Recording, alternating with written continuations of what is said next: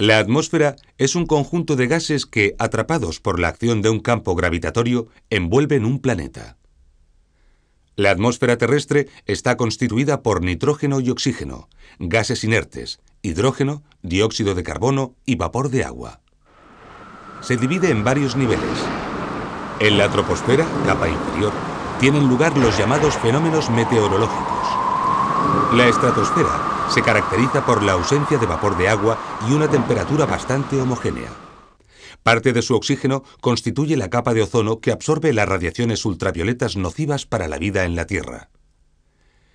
En el siguiente estrato, la mesosfera, la temperatura desciende marcadamente al ir aumentando la altura. Por el contrario, en la termosfera, también llamada ionosfera, las disociaciones moleculares provocan temperaturas muy elevadas. La exosfera, muy rarificada y en donde abunda el hidrógeno ionizado, constituye el límite exterior de la atmósfera.